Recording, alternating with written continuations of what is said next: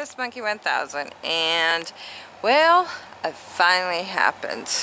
I've been waiting and waiting and waiting and guess what we finally got? Yes a sunflower. Here it is. There is my sunflower if you can see it through the lens. The uh, let me see if I can watch this off real quick here there you go. There it is. The camera's been in the air conditioner it's kind of cold. I finally got one sunflower. And I believe this is the lemon one. So we didn't get the other one up at all. But it's cute. Just one. And the rest have died. They're gone we've got way too much water and uh, just rains. I mean, it just rains and rains and rains. We're getting so much rain, it's unreal. Let me clean this off again. so, yeah, it's it's been just raining and raining. So, next year, I think I'm going to try to do them in the ground. And I'm going to do more. I'm going to do several of them. So, you kind of got me hooked on the sunflower thing. My my aunt up in Canada, I guess she does them, and she does quite well with them. She gets very big, big ones. So, um, but I think a lot of it was because of the rain. And Shea Bears is, is there. His is there, but not as well. And it could be the container that he has it in. It could be a lot of the rain and whatever. You know, it could be whatever and his is being eaten up a little bit. So that's his, and that's as good as his got. But he does have another one. And it looks like he's got two going on here. There we go. And they look pretty good. So, um, there you go. Sorry I have to keep wiping. But it was there. And I brought it out into the heat real quick so it kind of fogging up. So, but he's got his too. He did get one. So, but I never did get the chocolate one. I thought they were both gonna, and probably if we'd had all the rain we had, we probably would have had more.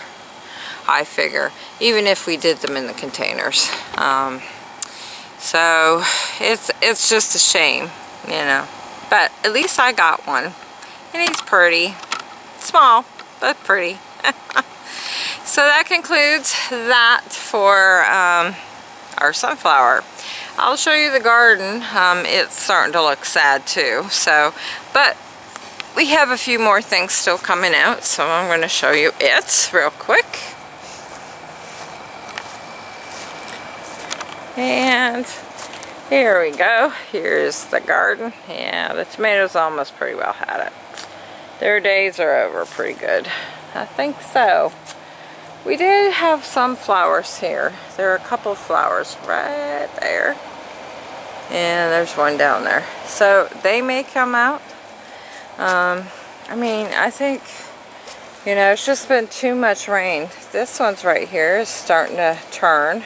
Looks like a little creature's gotten into that one though.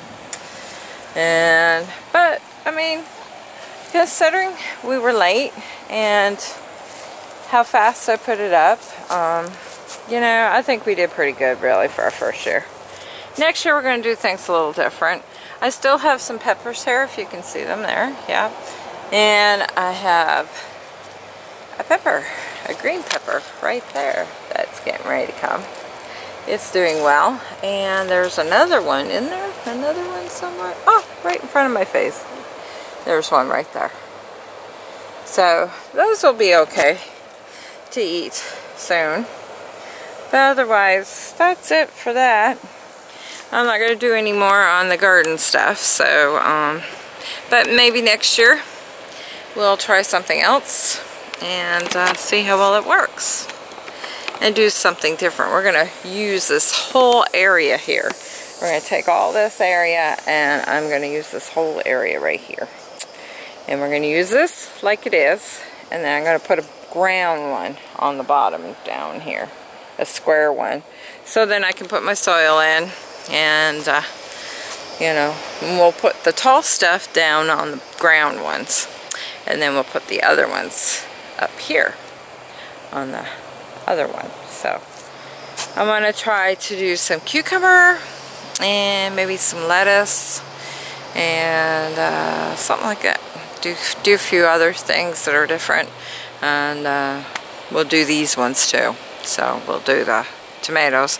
I think we're going to end up putting the tomatoes on the ground because they can grow taller and they won't go crazy like this. This one they went crazy, but that's okay. We had quite a bit of tomatoes on there, so great, great to enjoy and they're healthy. And they have a different flavor than the store, I don't care what anybody says. Homegrown is the best way to go. If you can make your own little garden, go ahead. You know, you don't have to do a whole lot. You just do a few. But I'll tell you what, those tomatoes taste so much better than ones in the stores. And the stores are getting so expensive with tomatoes that, you know, what we cost us was pennies compared to going to the store and buying them a little bundle for like three something. So, anyways, that's it for now. Um, nothing else is new, new yet. We're getting closer to the closing on the house. And we did get the swimming pool going, so that is great. It is finally going. I haven't been up there in a few days. Um, we want to let it run. So I have to go tomorrow, and we'll check it out tomorrow and see how well it's doing up there. So for now, Monkey says she's out. Y'all have a great evening and great week. It's going to be a long one for me, but oh well. Bye, y'all. Monkey says bye.